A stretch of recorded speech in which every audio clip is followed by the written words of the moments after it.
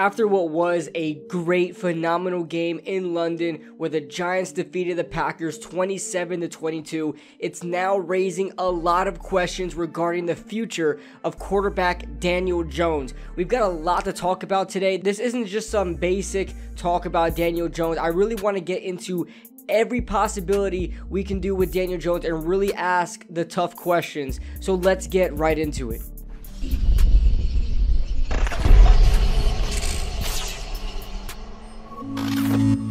Before we start, guys, as always, if you guys are enjoying the content, make sure you guys hit that like button and subscribe for content just like this on this channel. And let's get right into it. Listen, Daniel Jones is proving to be one of the grittiest, toughest players on this team, and possibly one of the toughest players in the NFL at the quarterback position. He's taking right after you know, Eli Manning has that Eli mentality. You know, I, am not saying he is Eli Manning. Let's not get too far ahead of ourselves, but you can see a lot of the similarities as far as his toughness, the grit. You know that he was battling that ankle injury coming off of that game in Chicago. He he got put back in that game. They had him doing handoffs after that because obviously he wasn't very mobile. And then you go on to practice. He wasn't supposed to practice. Then he practices, and then a lot of people are saying he does well and then the man is taken off of the of the injury report. Like that's how tough this guy is. He's gonna battle through a lot of injuries. He's gonna try to fight through as much injuries as he can. I know in the past couple of years he's had the problems with the injuries, and we'll talk about his past couple years in just a second. But regarding injuries, we know that he just doesn't finish seasons. Around week 12, week 13 or so, he comes out for the year, and you know he's hurt.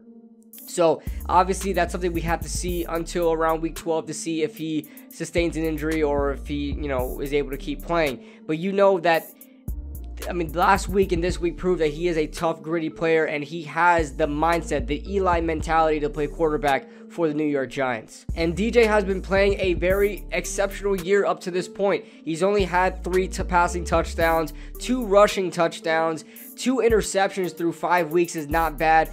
You know, just talking about his past couple of years with turnovers, and that's why I really wanted to bring up his past couple of years as well. A lot of people didn't want Daniel Jones to be re signed here because they were worried about the turnover issues.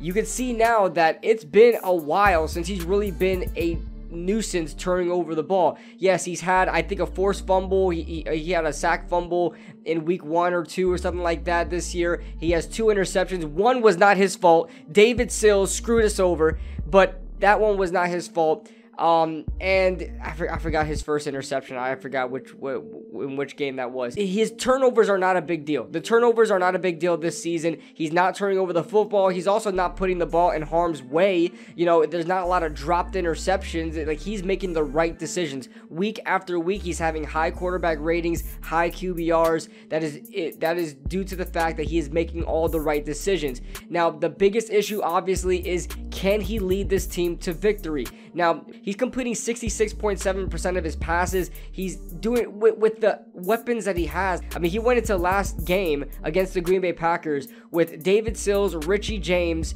and uh, Darius Slayton and Marcus Johnson. Wait, I don't think Richie James played in this game. So um, you went into this game with Marcus Johnson, David Sills, and Darius Slayton. That is a just atrocity of a wide receiving corps and the fact that he was still able to put up 217 yards with guys like Jaire Alexander, guys like Darnell Savage, guys like Rasul Douglas, guys like uh, any of the uh, any other of these corners out there playing cornerback, a good Green Bay defensive back room, and he was able to put up those numbers with Marcus Johnson, who I don't even know who this guy is, who this guy is at all. He was able to put up some numbers. Darius Slayton only came into this game with one catch prior to th- this past game and led the led the um, the game in receiving yards with like 79 or something like that. So Daniel Jones is having to work with all these different you know uh, adversities, right? Especially at the wide receiver position. For a while, it was the offensive line. I believe he's been sacked 15 times uh, up to this point, maybe 16 now because of the, this past game. I'm it's it's right around there. That is still a high number through five weeks, but last week was a good week because he only got sacked one time, and you could see what he's able to do when he has time in the pocket. So the offensive line is playing a little better. That's one adversity he had to deal with. The running game was an adversity he had to deal with. That's getting better. Now I think the biggest problem is the wide receiver room. And I I I, I pose this question. I don't really know how to answer this yet, but I pose it to everybody else. Is Daniel Jones that bad of an option? That if we revamp this wide receiving corps this year, say Brian Daboll and Joe Schoen, they go hard at this wide receiving corps. We trade for maybe a DJ Moore, right? A lot of that's been floating around ever since Matt Rhule got fired. We trade for a DJ Moore. We draft a, a, you know a couple of receivers, and we revamp this wide receiver room. Maybe we get a couple of free agents as well. Obviously, is DJ that bad of an option to sign either to a franchise tag or we sign him to like a three year, $60 million deal, and that's $20 million a year, which is very, very cheap. That is a freaking bargain in today's uh, today's league as far as quarterback market goes. You know, you're seeing a lot of these franchise quarterbacks get a minimum of 25 up to maybe 40 million a year, and then the elite guys are making 50 million a year. Obviously, Daniel Jones isn't going to touch the 50 million, but if we want at least one more year to see what he can do, we can franchise tag him. I think that is like 30 million, or we can sign him to like a three-year, 60 million dollar deal where he's making 20 million dollars a year, and then obviously you can allocate those to different years, front loaded, back loaded, however they want to do it but that is one option that I don't think is a bad option. Now, I know a lot of people want to see more numbers, right? This is his first game without, you know, first game passing over 200 yards. And I understand that. I understand the lack of the touchdowns. But you have to you guys have to be mindful of what he had what he's having right now. Look at Aaron Aaron Rodgers and his performance against us. Okay, he's in a very similar situation. This guy is a Hall of Fame quarterback. He is in a very similar situation. He's putting up very similar numbers to the, to Daniel Jones because of the fact that he does not have Davante Adams anymore. He has Randall Cobb there with a shell of what Randall Cobb was. He had 99 yards against us, but he's still not the Randall Cobb of, you know, yesteryear, right? And you know, he's not dealing with a lot. He's dealing with rookies at wide receiver, a poor offensive line. Well, not poor offensive line, a worse offensive line than years past. You got a lot of younger guys on there um, that make rookie mistakes, but Romeo Doubs is okay. You know, Christian Watson is like they're trying to use him like Deebo Samuel. I mean, there, there's a lot there that is holding Aaron Rodgers back, and you can see it. Look at Aaron Rodgers' stat line just for this game. It was like 25 of 30 something, right? It was he had a bad completion percentage along with only 222 yards or something like that, and two touchdowns passing, which is good, something that I want Daniel Jones to do. But they they're able to you know throw it in the red zone a lot more.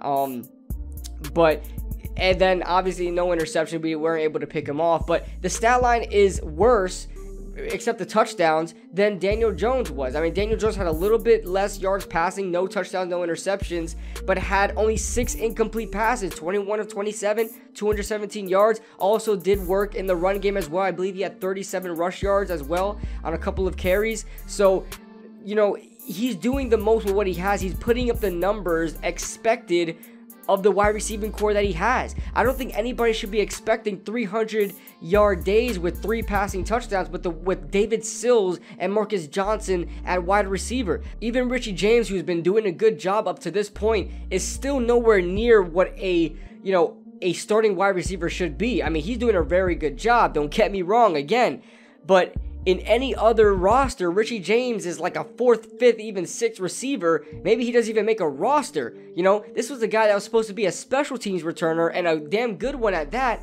But th- that's all his role was supposed to be. But due to in- injuries, due to inconsistencies from our star players, Darius Slayton not being in the lineup, Kenny Golladay being benched, you're seeing Richie James, you're seeing David Sills get their their time to shine.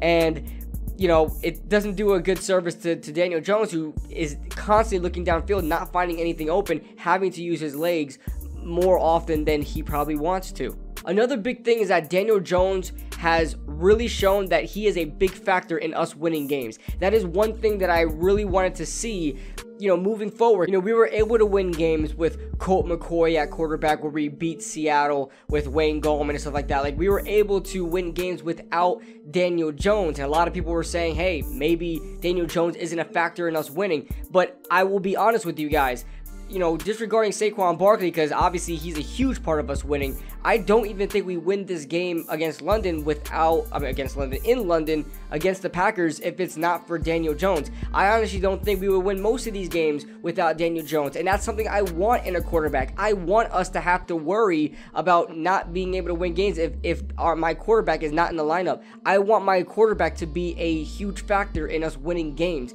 That uh, that shows that if he's in the game, I always believe that we have a chance of winning this, winning the game at hand, and that's something Eli Manning obviously was a huge.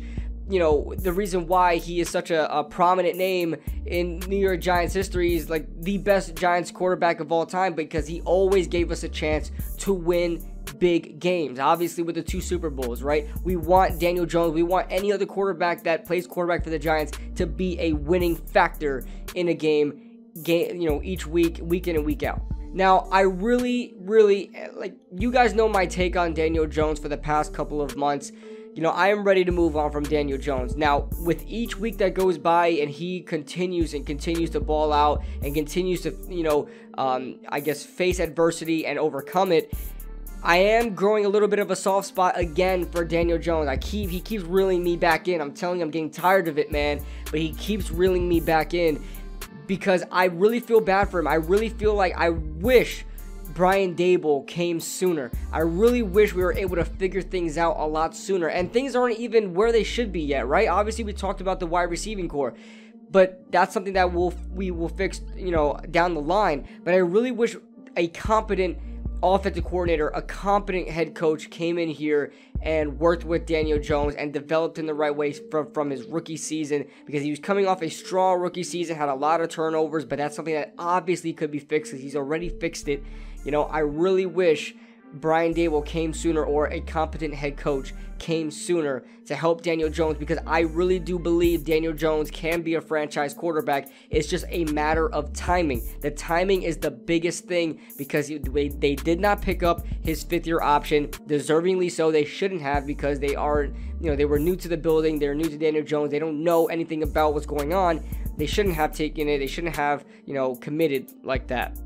But now we're in a situation where it's the last year of his contract. He's showing that he can play, but there are still question marks there. Like, can he sustain this? Can he not only sustain this, but take us uh, to another level? Can he take his game and his team to another level? And I just don't think he has enough time to overcome the lack of productivity that he's shown in the past three years. Now, he's shown gradual growth, and now I think he's really starting to grow but it's been gradual. It hasn't been exponential. It hasn't been up to par with like a six overall pick, for example, right? So that's the problem. That's the predicament that Daniel Jones is in. You want him to succeed. You want him. To, people may want him to be a quarterback, the quarterback here next year. But how do the Giants know? How do they trust him to give him a big deal and a, a big contract rather? And he come he comes in here and lives up to it. Like it's gonna be hard to decipher. It's still hard to it's still hard to see what Daniel Jones is capable of with the